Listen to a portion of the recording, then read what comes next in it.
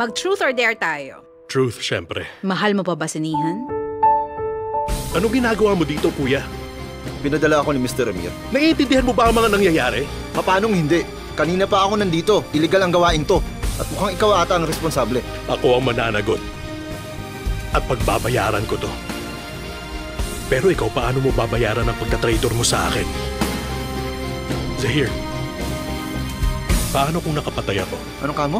Kunwari lang, anong gagawin mo para mahanap mo ako? Nasaan ang ginamit sa krimen? Eh kung may namatay nga, edi dapat may bangkay. Kung walang bangkay, edi walang pinatay.